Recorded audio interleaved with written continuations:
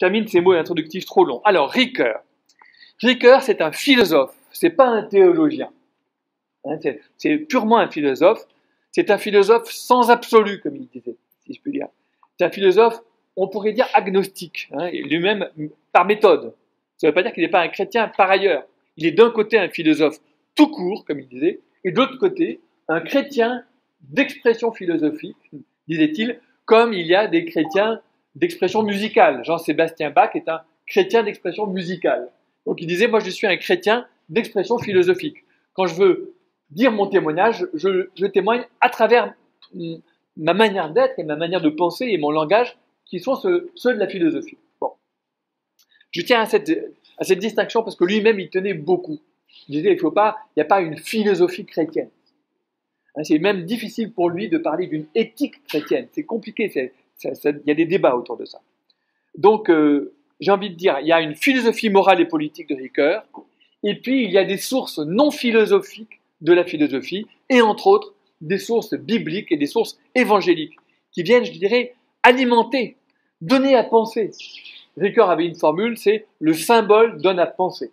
Donc les sources non philosophiques de la philosophie donnent à penser philosophiquement. Et le texte biblique, il est de ce côté-là. Alors, c'est quelques mots d'introduction faits. Je rentre dans mes parties, j'en ai quatre. La première partie, c'est d'où vient la, comment surgit la pensée politique de Ricoeur. Elle vient d'un contexte très particulier qui, à mon avis, a des échos chez vous. Ricoeur est victime d'une guerre. Il y a la guerre de 14-18 avec des millions de morts pendant laquelle l'Europe se suicide l'Europe peut-être est en train de se suicider une troisième fois, là. C'est peut-être ça qui est en train de se préparer, un véritable suicide. Bon. Le suicide, c'est cette guerre de 14-18. Ricoeur a perdu sa mère à la naissance et son père meurt, il a un an, à la bataille de la Marne, première victime pratiquement. Donc il est orphelin de guerre. Quelle va être la réaction du jeune Ricoeur, grandi dans les mouvements du scoutisme protestant? C'est la réaction, c'est il faut la non-violence. Ça suffit la guerre. Plus jamais la guerre. Plus jamais le nationalisme. On, ne supporte plus cette idéologie euh, complètement athée et sécularisée qu'est le nationalisme et qui est devenu un pourvoyeur de, morts par millions. Hein. Donc non-violence. Non-violence euh, militante, une militance de la non-violence. Et euh, d'une certaine manière, cela correspond, je dirais, à une première génération de Karl Barth, dans laquelle Karl Barth, on le sait, dans le Romer Brief, dit, le, théologien Karl Barth, dit euh, on a mélangé la religion et la politique. On a dit Dieu avec nous sur les ceinturons, sur les casques, Dieu avec nous. C'est une honte. Il faut séparer les affaires humaines, les affaires de guerre, les affaires politiques et les affaires de Dieu. C'est deux choses complètement différentes. Vous voyez donc, il y a une dimension prophétique de résistance à la récupération politique du religieux. Bon, ça c'est le premier mouvement. Mais les mouvements barthiens en Allemagne sont très puissants. Qu'est-ce qu'ils voient? Ils voient la montée de Hitler et ils disent à partir de 1933, ils disent attention, Hitler c'est autre chose. Attention, Hitler c'est très grave. Il faut s'armer, il faut se protéger contre Hitler, il ne faut pas le laisser continuer. Et euh, Ricoeur, il est trop, tellement ancré dans la non-violence qu'il pense non, non, ils ont tort, il ne faut pas être violent, il ne faut pas armer la France, c'est normal, l'Allemagne a été humiliée, hein, aujourd'hui on va dire la Russie a été humiliée, donc c'est normal qu'ils s'arment beaucoup, etc., etc. Vous voyez? Et c'est trop tard, en 1938, au moment où il a été 39, il était parti à la guerre, que Ricoeur a compris, comme il dit dans son journal de captivité, parce que Ricoeur est resté cinq ans prisonnier de guerre dans un camp en Allemagne, il a eu le temps de comprendre, il dit « je me suis trompé ». Donc, c'est la première base aussi, hein, vous voyez, on peut se tromper en politique il faut, il faut, faut pas avoir une pensée trop, trop sûre d'elle en disant je ne me trompe pas, je suis sûr. Non, il y a un moment où on peut se tromper de bonne foi. Hein, il croyait dans la non-violence. Jusqu'au bout, d'ailleurs, il va critiquer, par exemple, la violence de la punition. Qu'est-ce que c'est que la punition? Une punition, même en justice, même parfaitement légitime, eh bien, une punition, ça rajoute du mal au mal. Et donc, il y a un scandale. Pour l'évangile, il y a un scandale. Mais même pour la pensée philosophique, il y a un scandale. Comment est-ce qu'on peut punir, c'est-à-dire rajouter du mal au mal euh, Donc, du coup, il y a un deuxième Ricoeur qui apparaît, et qui est un Ricoeur dans lequel, on va dire, il faut penser la violence. Il faut penser la violence, il faut penser l'État, il faut penser l'institution. Si vous voulez, tant qu'on est sur un registre prophétique, on peut être contre les institutions, on peut être en dehors des institutions. La fonction de l'Église, par exemple, c'est d'être dans un registre prophétique en dehors des institutions. Oui, mais comme cela, peu à peu, les institutions faiblissent, fragilisent et sont abandonnées aux méchants. Non, il faut aussi soutenir les institutions de l'intérieur pour que les institutions les plus justes possibles puissent être soutenues par les citoyens. Donc il faut penser les institutions justes ou le moins injustes possible. Et donc, euh, Ricoeur va d'abord, il va dire, nous avons une grosse, nous faisons aussi une erreur en protestantisme, c'est que nous avons une conception trop morale, trop moralisatrice, trop individuelle de la responsabilité. Il n'y a pas que la responsabilité individuelle. Quelqu'un peut être complètement moral, parfaitement moral, et être politiquement ou économiquement ou capitalistiquement un salopard. Vous voyez? Il ne faut pas mélanger les deux registres.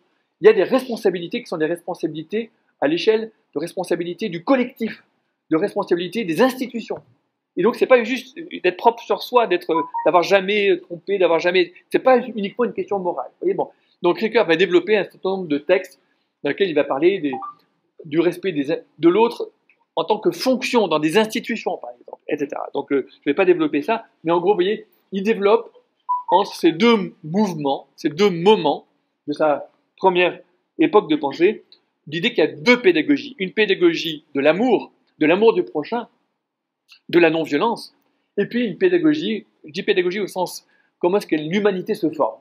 Elle se forme par l'amour du prochain, mais elle se forme aussi par, par la justice, par le respect des institutions, par le respect des règles, et euh, voilà, donc il faut, il faut penser ça. Vous voyez, donc, ça c'est la double orientation de la pensée de Ricoeur. On la trouve synthétisée dans un grand texte politique qui s'appelle le paradoxe politique, que Ricoeur écrit au moment où les chars russes rentrent dans Budapest, en 1956. Vous voyez, vieilles histoires, ces histoires de chars russes. Et donc, il dit, voilà, euh, il faut voir que on aurait dû s'y attendre. On n'est jamais assez attentif à la possibilité de la violence, au risque de la violence. Et donc, il faut penser que le politique, il est en même temps euh, irrationnel, de l'ordre de la force, de l'ordre de la force brute, hein, c'est-à-dire des passions du pouvoir, des passions de l'avoir, des passions de la gloire, toutes les passions humaines. Il faut que nous soyons avertis de toutes ces passions humaines qui ne sont pas seulement des passions morales, individuelles, mais des passions collectives, qui, donnent, qui, donnent la, qui donne libre cours à ces rapports de force écrasants qu'il y a entre les humains. Mais il y a aussi un politique rationnel et il faut de l'intérieur soutenir un politique rationnel qui pense le droit, qui pense la séparation des pouvoirs, bref, qui pense la démocratie. Je ne vais pas faire ici un cours sur la démocratie. Et vous voyez, ça correspond aux deux, aux deux Karl Barth, pour ceux qui connaissent un peu l'histoire de la théologie. Il y a deux Karl Barth différents. Et Ricord a accompagné une espèce de double mouvement dans lequel il faut penser en même temps en même temps résister de l'extérieur aux abus du pouvoir, hein, par, par, la morale, par la, mais aussi penser de l'intérieur la bonne gouvernance, par le droit, par les institutions, etc. Donc il faut en même temps avoir la posture du prophète qui résiste, qui proteste, et la posture du magistrat qui, de l'intérieur, soutient les bonnes institutions. Voilà, pensez les deux choses en même temps. Il y a démocratie tant qu'on peut être en même temps dedans et dehors, si vous voulez. Donc vous voyez, il y a un, bouger, il y a un, va-et-vient. Hein. Et c'est valable aussi, pas seulement pour les citoyens, mais pour toutes les organisations de la société civile, pour toutes les institutions. On, pourrait retrouver ça chez Calvin, par exemple. Hein. J'ai beaucoup travaillé Calvin, c'est la même, on a le même mouvement. Donc, voilà, double mouvement. Un, confiance, confiance mutuelle, confiance humaine, non-violence. Et deux, attention, lucidité sur la, toujours le risque, la possibilité du mal je dirais, de, même de la, de la méchanceté ou du mal, même de la, du mal inintentionnel. Il faut toujours penser aux conséquences. Il, y a des, il y a des conséquences. On peut vouloir le bon et, euh, et faire le mal. Et donc là, j'arrive à ma deuxième partie que j'ai intitulée La promesse et la règle. La promesse et la règle, c'est le titre d'un petit livre que j'avais fait il y, a, il y a 30 ans bientôt sur justement la philosophie morale et politique de, de Ricoeur. Donc, vous voyez, en gros, Bonjour, monsieur le, recteur. Ah, excuse-moi, je ne l'ai pas, pas reconnu. C'est Clément. Je suis un peu bigleux. oui, donc le, juste est bancal. Le, juste est bancal entre le bon et le légal, voyez, entre la promesse et la règle. Ça boite. La pensée politique, elle boite. Alors, je commence par la première, le premier côté, je vais développer le côté promesse. La promesse, c'est ce que Ricoeur appelle la visée éthique. Il y a une visée éthique du bon, donc euh, qui, vise la vie bonne. Vous connaissez tous la formule de Ricoeur, peut-être un certain d'entre vous la connaissent bien, elle est très connue. Elle est presque en train de devenir une tarte à la crème, comme on dit. C'est viser à la vie bonne, avec et pour autrui, dans des institutions justes. Vous avez là une grammaire avec je, je vise à la vie bonne, tu, avec et pour des autres, il, le tiers, dans des institutions justes. Il faut déplier l'éthique et l'éthique politique dans tous les éléments de la grammaire. Nous, vous, je, tu, et il, le tiers, eux. C'est-à-dire n'importe qui, l'autre, l'autre autre. Donc, euh, Ricoeur incite beaucoup. Alors, je donne un exemple que donne Ricoeur, la promesse. Quand je promets, je promets. Je promets, mais toi, tu comptes sur moi. Si je promets, mais que toi, tu comptes pas sur moi, ma promesse n'a pas de sens. Elle, me tombe, elle tombe sans valeur. Ça ne veut rien dire de tenir une promesse alors que l'autre ne compte, ne compte plus sur vous. Donc, j'ai besoin, pour tenir ma promesse, que toi, tu comptes sur moi. Et puis, j'ai besoin que, là, le tiers, c'est le langage. J'ai besoin que le langage, comme dit Ricoeur, c'est l'institution des institutions. C'est le tiers du tiers. Si le langage, si on peut avoir confiance dans le langage, on peut avoir confiance en l'autre. Si le langage s'effondre, si plus personne n'a confiance dans le langage, si nous sommes dans un monde d'insécurité langagière, dans lequel le langage il est purement instrumental, c'est plus, il n'y a plus que de la com, il n'y a plus que des fake news, il n'y a plus que du mensonge, alors il n'y a plus aucune confiance dans le langage, il n'y a plus de promesses possibles. Donc c'est grave. je vous donne, pour vous montrer que ça marche sur les trois registres. Alors, c'est quoi l'éthique? C'est D'abord, c'est le fait que le bon, il n'y a de bon que s'il est partagé. Le bon, le, même le plaisir, il n'y a pas de plaisir tout seul. C'est un des grands malheurs de notre société aujourd'hui, c'est de croire qu'on peut être heureux tout seul. J'accapare les biens et je suis heureux avec mes biens. Mais non, nous sommes heureux parce que nous partageons les biens, parce que nous partageons le bon. C'est ça un peu le paradoxe des humains, c'est que c'est plus facile de partager le mal que de partager le bien, que de partager le bon, même de partager le plaisir. Deuxième chose que je dirais, c'est l'horizon de la mutualité. Le bon, la visée éthique, elle veut, elle veut la filia, c'est-à-dire l'amitié fraternelle, elle veut la mutualité, elle veut le vouloir vivre ensemble. Et dans ce vouloir vivre ensemble, ça veut dire aussi un pouvoir vivre ensemble. Et donc là, on a une conception du pouvoir qui est positive. Hein. il n'y a pas que le pouvoir de dominer, il y a aussi le, pouvoir, le pouvoir au sens là, je peux parler, vous pouvez écouter, vous pourrez tout à l'heure discuter, répondre, vous pouvez agir, vous pouvez, je sais pas, moi, faire du, faire du vélo, vous pouvez euh, nager. Nous avons des capacités, nous avons des pouvoirs. C'est bien le pouvoir. Et surtout quand le pouvoir se met ensemble, là où deux ou trois sont ensemble, leur pouvoir est décuplé. Pouvoir agir ensemble, c'est fondamental, c'est essentiel. Si nous étions tous impuissants, il n'y aurait plus de société. La société est liée à ce, pouvoir vivre ensemble et à ce pouvoir ensemble, hein, qui est plus que juste vouloir vivre ensemble. Et ça, c'est quelque chose que l'on éprouve dans les moments de catastrophe où soudain, il y a une solidarité qui s'organise, il y a des, solidarités ponctuelles, si vous voulez, qui s'organisent et qui sont sous les institutions. Il y, a du, il y a un vouloir vivre ensemble, il y a un pouvoir vivre ensemble qui est en général oublié. Alors, je ne vais pas développer, mais ça, c'est cette conception, on dirait, très positive, même du politique, qu'on trouve chez Aristote, qu'on peut trouver par certains côtés chez Spinoza, l'idée de la potestas, hein, qu'on peut trouver chez Anna Arendt, etc. c'est ça que Ricoeur développe. Mais il y a un écart entre les intentions, la téléologie, la finalité, la visée, et les résultats. Je peux vouloir le bon, même je peux vouloir le totalement bon, la réconciliation générale, et en fait je force les autres à se réconcilier, et en fait c'est le, c'est le moment les pires, c'est le moment les plus dangereux, les moments où de grandes réconciliations, où on veut absolument tous être ensemble, tous dans le même... Donc faisons attention, aux conséquences. Il y a un écart entre nos intentions et les résultats de nos actions. Donc nous devons penser aux conséquences. Et c'est là que nous rentrons dans le deuxième versant, qui est le versant de la règle, de la norme morale. Le versant déontologique d'Ericker, qui est le versant, on va dire, kantien. C'est-à-dire, il parlait tout à l'heure de la primauté de l'éthique sur la morale. il faut commencer d'abord à penser le bon. Vous voyez, un des grands problèmes, je fais une parenthèse ici, un des grands problèmes des sociétés euh, européennes, occidentales, ça, c'est qu'elles ne ne voient que le mal partout. Donc elles veulent juste se protéger, se protéger, se protéger. Ce que je vois ici, je vous le dis comme ça, hein, peut-être que je suis complètement à côté de la plaque, mais moi ce que je perçois ici, c'est qu'il y a quand même un désir du bon.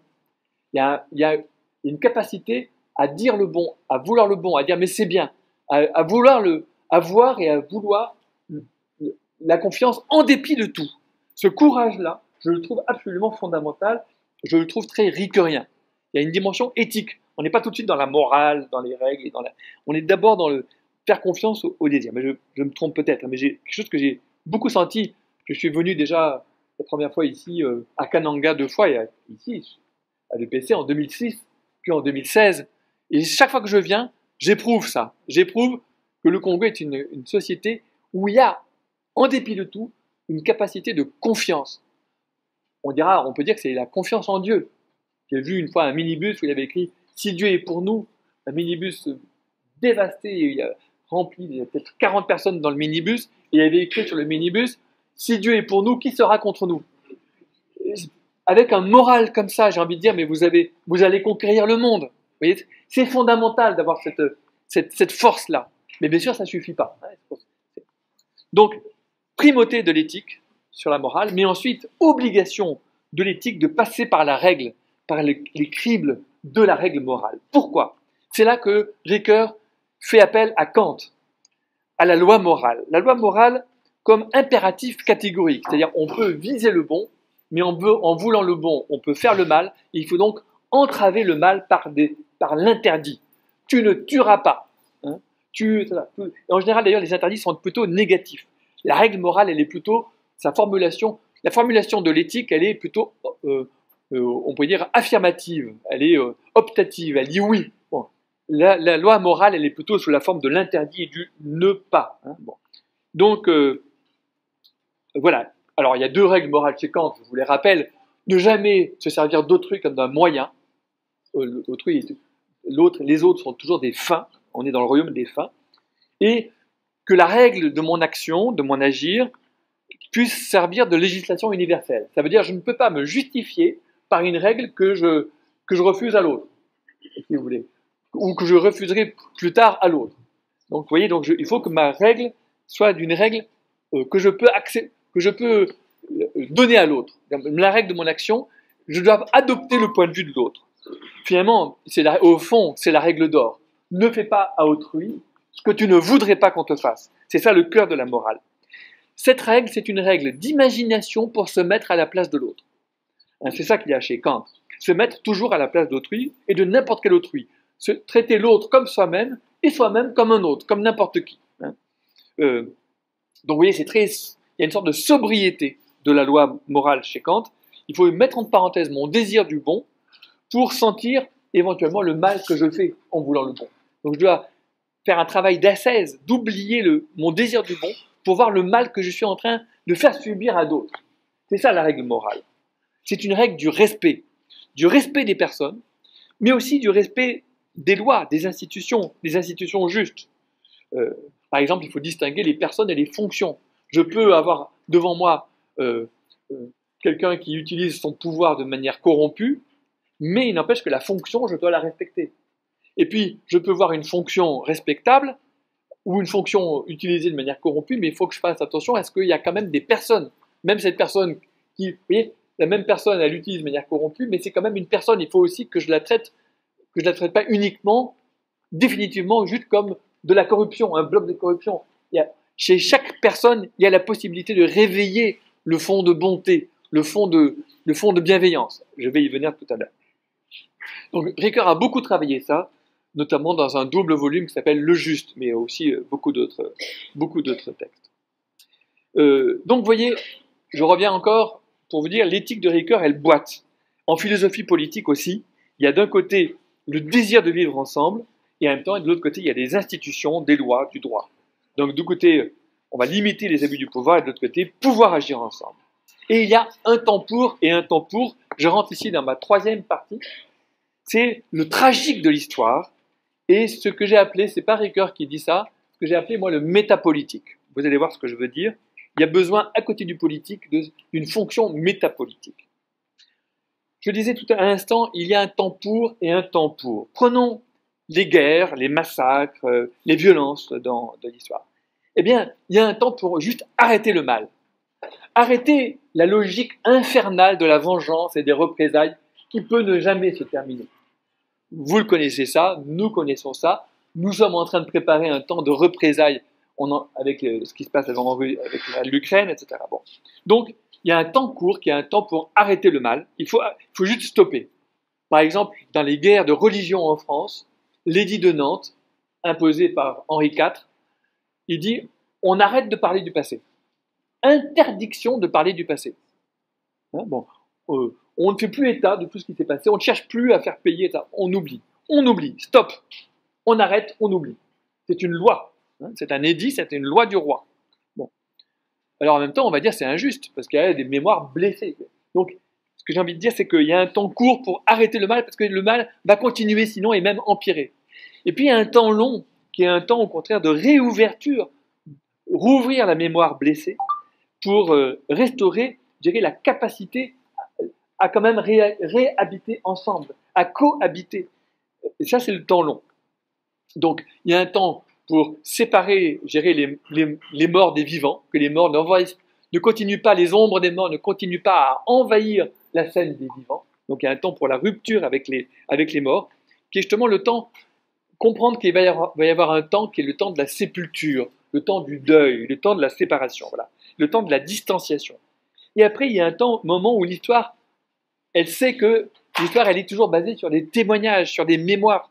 Et donc, elle ne peut pas écraser les mémoires. Il n'y a pas d'histoire qui puisse, qui puisse définitivement écraser les mémoires. Il y a un moment où l'histoire, avant que les témoins disparaissent, a besoin des témoins, a besoin des mémoires vivantes, même si elles sont blessées, pour convertir l'hostilité euh, entre les mémoires en hospitalité.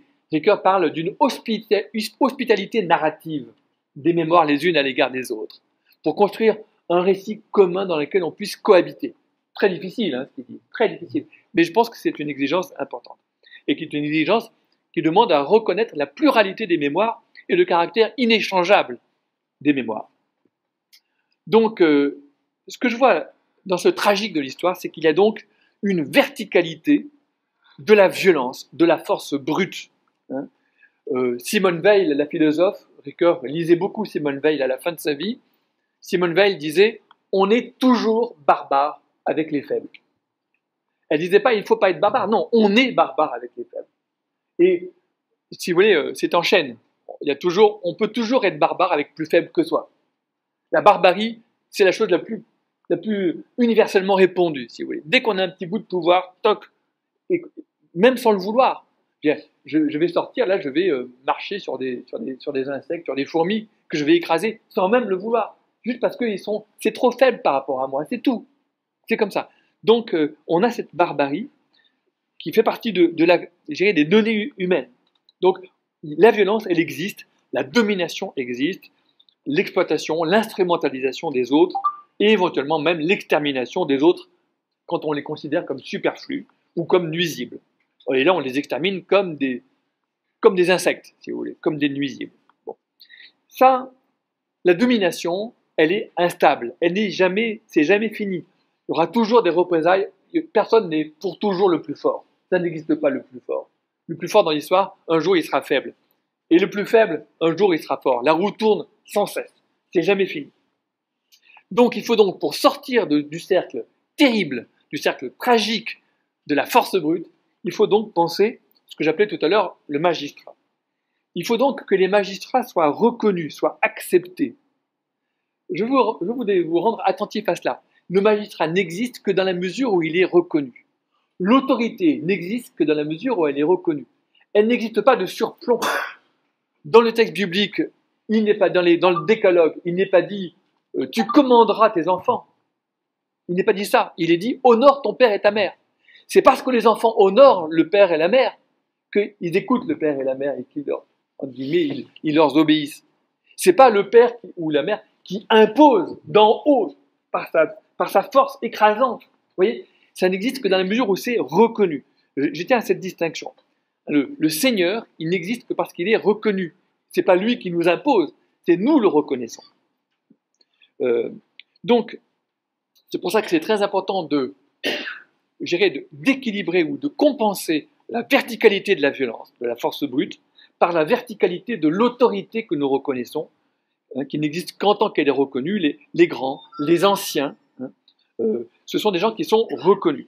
C'est-à-dire, euh, voilà, c'est le Sénat romain, dit Anna Arendt, il n'a pas de pouvoir, c'est juste les anciens qui étaient au pouvoir et qui, en sorte, se retirent du pouvoir, se retirent des avantages du pouvoir, des avantages de l'avoir, des mais pour se retirer et pour dire maintenant à votre tour. C'est les, les grands, les vieux, les sages qui se retirent de la course au pouvoir pour dire aux petits allez maintenant à vous de monter, à, vous, à votre tour, à votre tour de prendre la parole, à votre tour de montrer ce que vous ce que vous pouvez faire, ce que vous allez faire. C'est ça l'autorité. L'autorité, elle autorise, elle augmente, elle approuve. Et euh, le, pouvoir, le Sénat romain n'avait aucun pouvoir, il pouvait ne pas approuver. Il pouvait ne pas, ne pas, ne pas autoriser. Mais le, magistrat pouvait très bien passer outre l'avis du Sénat. Vous voyez, c'est une institution intéressante. Donc là, on est vraiment dans ce que Ricoeur appelle la sagesse pratique. Alors, Maintenant, on va creuser encore un tout petit peu là-dessous. Comment se fait ce passage d'une verticalité de la domination et de la force, violence, à la verticalité de l'autorité Ricoeur prend le détour, et ça, il fait ça très tôt dans son œuvre, il prend le détour euh, des tragédies grecques. Il prend comme un exemple. On pourrait, faire la même, on pourrait prendre des textes bibliques qui nous diraient la même chose. Dans l'Orestie d'Échille, grand tragique euh, ancien, il y a des puissances dévastatrices de la vengeance, de la, des furies de la vengeance, de la fureur vengeresse, qu'on appelle les Érinies. Les Érinies, c'est vraiment des, déesses de la vengeance, qui, courent derrière le, coupable en, l'appelant la vengeance sur lui, par exemple, ou sur eux. Déesses de la vengeance. Tout le travail de l'Orestie d'Échille, de ces tragédies, c'est de convertir les Érinies dans des, dans des Euménides, les Euménides, ce sont des bienveillantes, ce sont des déesses bienveillantes, des déesses protectrices de la cité. Alors, est-ce que ça se fait de manière manichéenne Les Euménides vont chasser les, les Non. Le paradoxe, c'est que ce sont les mêmes. C'est les mêmes déesses qui étaient des Érinies, qui étaient des, furies de la destruction, et qui deviennent des bienveillantes. Comment est-ce que c'est possible? Comment est-ce que les Érinies vont devenir des bienveillantes? Comment les déesses de la vengeance vont devenir des déesses de la bienveillance? Euh, Eh bien, on a Athéna, qui est la déesse de la cité grecque, qui leur dit Vous n'êtes pas vaincus, venez avec nous, prenez place parmi nous. Hein. Et donc, Athéna a des paroles qui autorisent les Érinies, qui les approuvent, qui leur fait place dans la cité, dans la société. Vous voyez, c'est ça la tragédie grecque c'est un travail de conversion des puissances divines, on pourrait dire diaboliques de la destruction, en puissance divine de la bienveillance et de la bonté. Un travail de conversion du divin, on va dire. Un travail de conversion théologique. Donc c'est pour ça que je parlais d'une scène, les tragiques grecs sont une scène métapolitique qui, qui opère cette conversion des forces furieuses dans des forces apaisées, protectrices, protectrices du vivant, protectrice du vulnérable. Alors, je le disais tout à l'heure, ça existe dans le texte biblique. Vous avez des moments où Dieu, il est, c'est un Dieu de la vengeance. Il dit lâchez-moi, je vais tous les tuer. Il parle d'Israël, le peuple d'Israël qui a désobéi. Et il y a Moïse qui est là, qui dit mais non, mais attends, regarde. Et peu à peu, Moïse apaise Dieu. Il apaise Dieu. Donc, Dieu n'est plus le même après la conversation avec Moïse. Ça arrive aussi avec, euh, avec d'autres. Hein. On pourrait prendre d'autres exemples avec, euh, avec Abraham, avec ça. Le Dieu biblique est un Dieu qui peut changer. C'est pas un Dieu, c'est pas un concept froid, mort, immobile, qui ne bouge pas. Le Dieu biblique, c'est un Dieu de l'histoire, c'est un Dieu qui lui-même change, qui évolue, qui il y a une histoire. Alors, avec le Christ, c'est une sacrée conversion. On peut en reparler si vous voulez. Qu'est-ce que c'est que la croix, voyez-moi Donc, euh, ce travail de conversion, il est très important. J'ai envie de dire, ce, le tragique qui arrive dans la cité grecque, à côté de la scène politique, la scène du tragique, ça existe chez nous avec euh, la prédication euh, dans les temples, ou l'homélie dans les églises. ça arrive, je dirais aussi, avec certains films, certains, concerts, certaines musiques ont cette fonction de conversion. De conversion, je dirais, du diabolique en divin, si vous voulez. donc, alors là, on a deux modèles théologico-politiques. Je, vais terminer, je vais attaquer ma dernière partie. Il y a un modèle théologico-politique de l'autorité verticale, hein, euh, euh, à laquelle on fait appel au, contre le méchant, on fait appel au, supérieur, au roi, hein, euh, à Dieu. Et puis il y a un modèle théologico-politique qui est la scène théologique à côté du politique et qui, en quelque sorte, limite le politique, qui vient en quelque sorte encadrer le politique. Donc ce n'est pas une fonction directement politique de l'Église ou de la prédication ou de la tragédie, c'est une fonction métapolitique. Il n'y a de politique que parce que certaines forces ont été apaisées, rétablies, possiblement à l'intérieur de la, de, la, de la cité. Alors j'attaque ma dernière partie, cinq, quatrième partie, donc un théologico-politique de l'alliance. Et là je vais faire euh, allusion, euh, j'ai amené un texte de Ricoeur que je vais peut-être vous, vous, vous laissez parce que c'est un texte qu'on a publié là euh, cet, hiver, en décembre, dans Études théologiques et religieuses, qui est la revue de l'Institut protestant et de Montpellier. Donc on a publié un, numéro spécial autour de ce texte de Ricoeur, qui était une conférence qu'il avait donnée en 1996, il était donc déjà assez âgé, dans sa paroisse protestante, la paroisse de, Robinson, qui est d'ailleurs la paroisse de Philippe Cabongo, qui était son pasteur, hein, euh, pasteur Cabongo. Euh, donc, voilà, on peut penser le tragique, penser le divin méchant, je viens de dire, les forces du mal. Il faut jamais les sous-estimer. Mais il faut aussi, je reviens, penser le bon. Et ici, on va penser le bon sous la figure de la libre alliance, du libre pacte. L'idée est la suivante. quand on pense le théologico-politique, dans toute l'histoire de l'Occident, et peut-être même pas seulement l'Occident, on pense quelque chose de vertical, on pense quelque chose de régalien, on pense éventuellement quelque chose de paternel. C'est le patriarche, c'est le roi, c'est le dieu roi, le dieu père, etc. Vous voyez, bon. D'une certaine manière, Athéna, c'est bien la fille de Zeus, la fille préférée de Zeus, la fille à papa, si je peux dire. Donc il cherche à l'intégrer dans, la cité. Euh, donc j'ai envie de dire, il ne faut pas l'écarter trop vite, ce théologico-politique vertical. On en a besoin parfois. Face à la verticalité négative de la violence, on a, besoin de faire appel eh ben, euh, voilà, l'Ukraine, elle fait appel mais, à l'OTAN, mais venez nous protéger. Vous voyez, c'est, le même geste. C'est le geste d'un, appel à un supérieur extérieur, si vous voulez. Parfois, on a besoin de ça. Que l'on reconnaît, dont on a besoin et que l'on reconnaît, auquel on voudrait donner place. Bon. Mais le danger, c'est qu'avec la sécularisation, si vous voulez, on a remplacé, euh, on a substitué à Dieu la nation. La nation, Ricoeur dans ce texte montre comment nous avons remplacé Dieu par la nation. La nation est devenue notre, notre Dieu, qui en fait, dans la légitimité politique, le peuple prend la place de Dieu. Mais en fait, en, gardant le même schème, le même schème vertical d'un théologico-politique de la domination. Donc ça change rien. Et donc il y a dans toute une philosophie politique moderne, en fait, sous le nom de contrat social, même éventuellement, euh, ou de pacte au sens d'Europe, ça, en fait, on garde les mêmes modèles tout à fait vertical avec le nationalisme dont je vous disais au début de cet exposé que Ricoeur disait c'est il a été voilà il a été le pourvoyeur de guerre absolument terrible et ça continue comme comme vous voyez. Donc Ricoeur dit voilà euh, nous, sommes occupés par un pouvoir domination comme euh, disait Max Weber l'État est un rapport de domination de l'homme sur l'homme fondé sur le moyen de la violence légitime. Donc l'État il a le monopole de la violence légitime. Les deux. On a les moyens de contraindre et on a le monopole de la légitimité. Ce monopole de la légitimité, d'ailleurs, pendant longtemps, c'était le monopole de l'interprétation légitime de la Bible. Seul celui qui a le monopole, chez Hobbes par exemple, le, souverain est appuyé sur le monopole des armes et sur le monopole de l'interprétation de la Bible.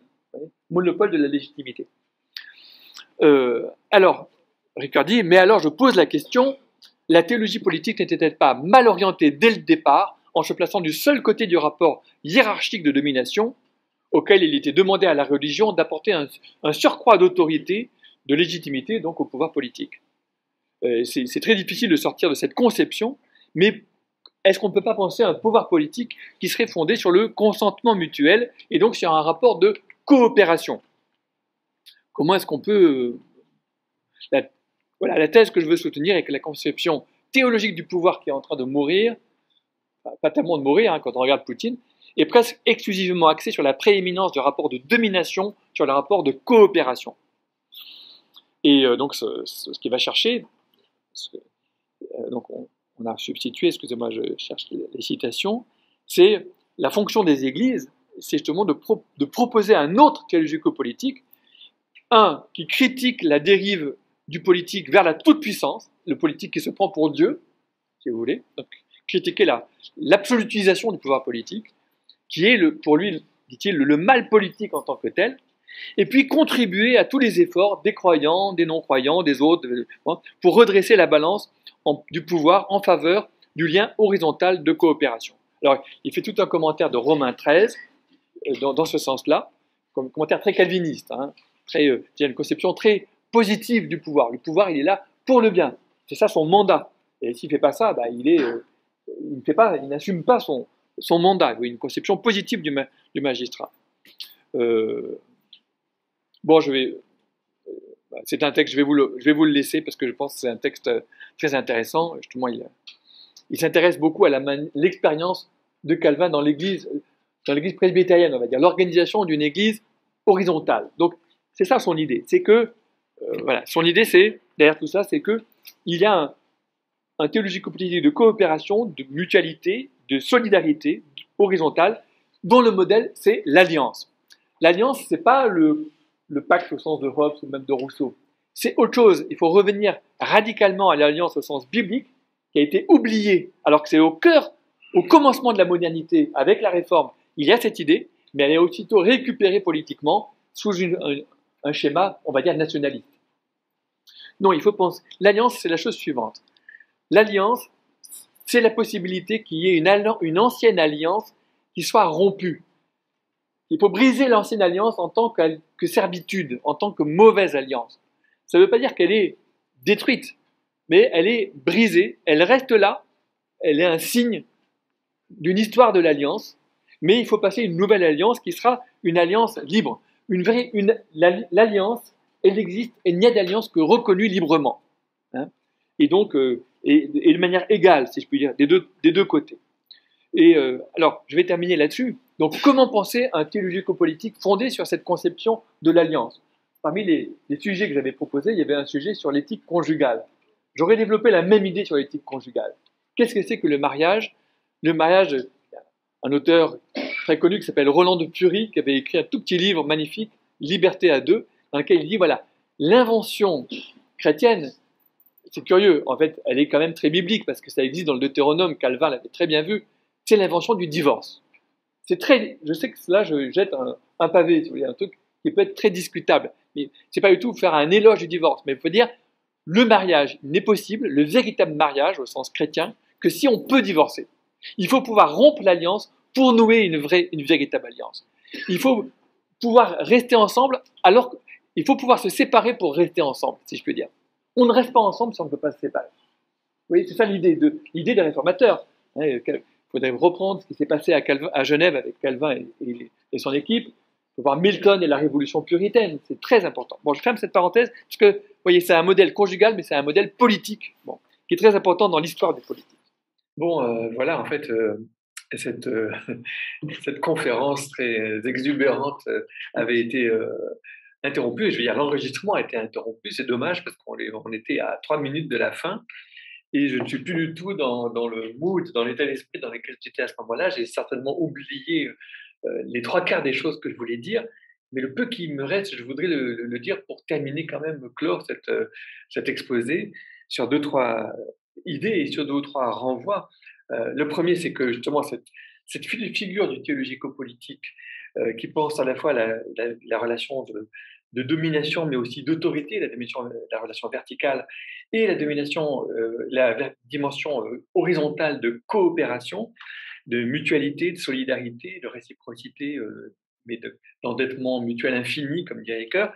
Voilà, tout ça, c'est quelque chose qui est développé par Ricoeur dans un très beau texte qui était l'objet d'une conférence à la paroisse de Robinson en 1996, qui a été publié par la revue Esprit et repris dans notre revue Études théologiques et religieuses, avec d'ailleurs tout un dossier assez étoffé que je recommande donc à, tous les, auditeurs de cette conférence. Donc, Études théologiques et religieuses, donc le livre, le texte de Ricoeur sur le théologico-politique. C'était donc Études théologiques et religieuses de, de, de, en gros de décembre 2021.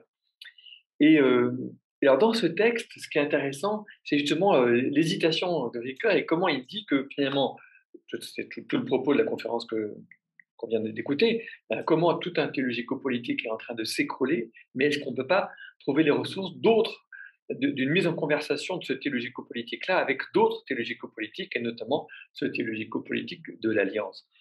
Et il me semble que, deuxième renvoi, cela peut renvoyer, a une ressource euh, qui peut, pour penser cette tradition-là, qui peut se trouver dans la réforme même, et euh, notamment dans l'organisation de l'Église, euh, des, églises calvinistes, qui, sont, est une organisation pour l'époque étonnamment, en guillemets, démocratique, c'est-à-dire vraiment très horizontale, vraiment de, et qui est basée sur, en fait, finalement, d'un point de vue de philosophie politique, sur cette formule extraordinaire de Calvin quand il parle de l'autorité des, du rapport aux autorités, a du rapport euh, au, souverain, dans lequel il dit que l'obéissance au souverain, au, roi, au prince, euh, euh, est subordonnée à une exception, dit-il, ou plutôt une règle, c'est que cette obéissance ne nous, ne nous enjoigne pas de désobéir à, Dieu. Et donc, il y a donc, une, comme il dit, une exception, ou plutôt une règle, qui est justement cette possibilité exceptionnelle de désobéir. Alors, c'est pas du tout un droit de révolte, c'est pas du tout un droit de prendre les armes. C'est juste un droit de se soustraire à, une obéissance aveugle, passive, euh, qui nous amènerait, dire, à, faire de, notre, de nos souverains des dieux, justement. Non, il y a des moments où il faut désobéir au souverain, parce que surtout quand il se prend pour un, pour, un dieu lui-même. Et donc, euh, il y a cette exception. Et cette exception, on pourrait dire que chez Calvin, euh, voilà, normalement, Calvin insiste beaucoup sur l'obéissance aux autorités.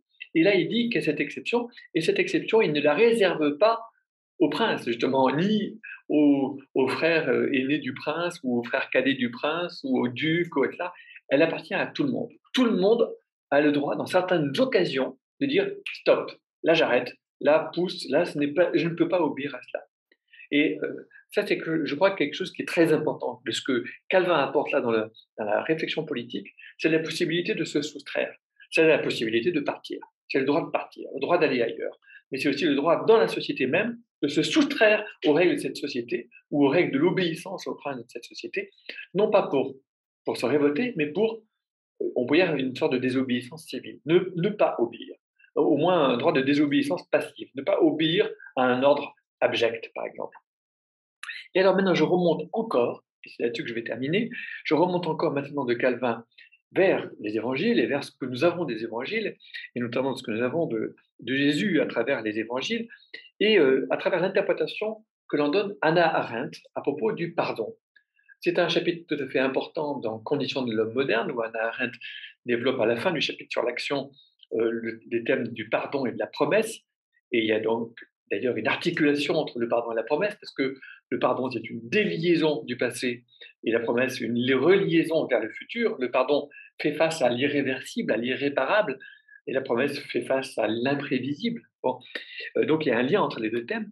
Et alors, quand elle développe sur le pardon, elle dit, Anna Arendt dit, il y a là une invention qui est propre à Jésus, et qui est une invention qui n'est pas spécialement religieuse, qui est en fait une, invention on peut dire aussi bien civil, politique, euh, bon, général, valable pour tout le monde et pas seulement valable pour les croyants, c'est pas uniquement en interne dans une religion, bon, et qui est vraiment une invention. Alors, on va voir en quoi c'est encore théologico-politique. C'est l'idée que le pardon, dans, ce qu'en dit Jésus, on a le sentiment que le pardon appartient à tous. Hein, ce que vous, ce que vous lirez sur la terre sera lié, ce que vous délirez sera délié, donc ce que vous promettez sera promis, que vous déliez sur la terre sera délié au ciel, ce que vous liez sur la terre sera lié au ciel. Ça veut dire qu'en fait, c'est pas pas Dieu qui va nous lier ou nous délier, c'est nous-mêmes ce que nous allons faire. En fait, Dieu ne peut ne peut rien pardonner si nous ne pardonnons pas. Hein. Pardonnons-nous nos offenses comme nous pardonnons à, ceux qui nous ont offensés. C'est nous qui commençons. d'une certaine manière. Nous ne sommes pas que des copies serviles de Dieu, c'est pas parce que nous avons, c'est pas parce que Dieu nous a pardonné que nous pouvons pardonner. Enfin, c'est pas ça l'essentiel, parce qu'en fait, ce qui se passe à travers cette idée-là, cette idée que le pardon appartient à tout le monde, c'est justement que le pardon n'est plus le monopole vertical, régalien du d'un dieu roi et donc d'un roi et donc d'un prêtre et donc d'une prêtrise, donc bref d'une hiérarchie sacrée qui aurait le seul le monopole du pardon. Ce qui est quand même encore un petit peu le cas dans l'Église romaine, on va dire, une espèce de monopole du pardon. Et donc, je pense que c'est très important de voir dans cette conception du pardon proposée par cette lecture du pardon de, selon Jésus proposée par Anna Arendt, c'est qu'il y a réellement, en effet, un autre théologico-politique qui est, euh, celui du pardon. Et alors, on peut faire le lien avec ce qu'on a dit dans la partie, les, deux parties antérieures, c'est que justement le risque que l'on prend avec le tragique, hein, en mettant au bord du, politique un métapolitique tragique, c'est le risque que les forces de la vengeance envahissent la société. Oui, mais justement, la vengeance, la, vengeance est à moi, dit le Seigneur. Mais, mais d'une certaine manière, personne ne peut me, prendre la vengeance. Or, c'est ça le thème de la justice. La justice, c'est justement, on te prend ta vengeance. Tu n'as pas le droit de te venger toi-même. C'est l'État qui peut, qui peut te venger, mais toi, tu ne peux pas te venger toi-même. Eh bien, justement, ce qui se passe avec le thème du pardon chez Jésus, le pardon et la vengeance, c'est la même idée. Hein, c'est l'idée de cette euh, vieille femme qui répondait à Desmond Tutu, qui voulait, euh, dans les, dans les commission euh, justice et réconciliation en Afrique du Sud dire euh, qu'il y avait un pardon, elle dit oui mais attendez, c'est pas vous qui pouvez pardonner à ma place, c'est moi dont le mari est mort hein, sous, les, sous les tortures. Vous, vous ne pouvez pas pardonner à ma place. Attendez, pardonnez-moi, mais c'est moi qui, si quelqu'un pardonne, c'est moi qui peux pardonner. Et donc, c'est ça qui est important, c'est que personne ne peut pardonner à la place de celui qui a, vécu, la, douleur, et que donc, du coup, le pardon, il appartient à tout le monde. On peut pas, ne peut pas confisquer le pardon et faire le monopole du pardon, pas plus que certaine manière que la vengeance. Donc là, le politique prend un très grand risque, quand il rentre dans cette logique-là, il prend un très grand risque, c'est d'accepter de remettre en jeu la possibilité qui est de la vengeance, mais aussi la possibilité qui est du pardon. Et c'est en remettant en jeu la possibilité de la vengeance et du pardon que le politique se réélargit à tout le monde en donnant le droit à tout le monde de pardonner, mais aussi, du coup, en donnant à tout le monde le droit de ne pas pardonner. C'est ça le risque du politique, c'est ça le risque du politique horizontal, d'un politique de coopération. Et en même temps, ce risque, il me semble essentiel pour penser, ou plutôt pour repenser la démocratie aujourd'hui.